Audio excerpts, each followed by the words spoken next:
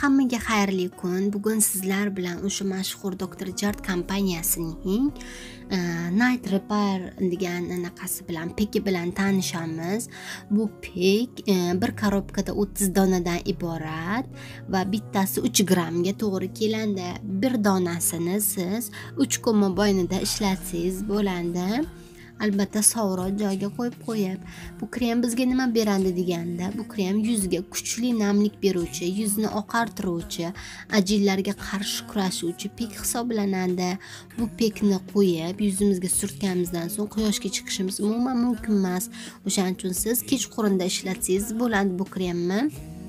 Chunki pek e, bo'lgani bilan siz qog'oz ochib yuzingizga surganingizdan so'ng xuddi kremdaqa suriladi va e, kremdan ko'ra ko'p biroz ko'proq yaltirab turish xususiyatiga ega.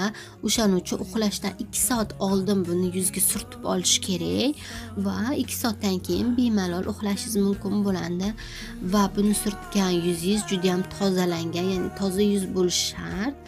Keyin bu e, mahsulotimizni asosan ayollar ishlatilishi ya'ni ayollar ishlatish uchun anaqa qilingan ishlab chiqarilgan anaqasi ichidagi tarkiblari judayam ko'pi.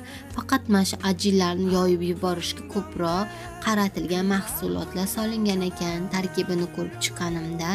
Va bundan tashqari bu mahsulotni narxi va qanday sotib olish mumkin degan savollaringizga siz mani instagram kanalimga yozib e, mahsulot haqida yanada to'liqroq ma'lumot olishingiz mumkin bo'ladi. Instagram kanalimni videoyimni oxirida qoldiraman. Hozir bu krem haqida yana gapiradigan bo'lsam e, bu kremni siz kamida uch oy davomida ishlatsangiz bo'ladi. Foydasini esa judayam bir o'n o'n besh kunda yaqqol sezasiz. Yuzingizga judayam kuchli namlik bergani uchun yuzni rangi ham o'ta chiroylilashib boradi. Yuzingizni rangi yorqinlashadi.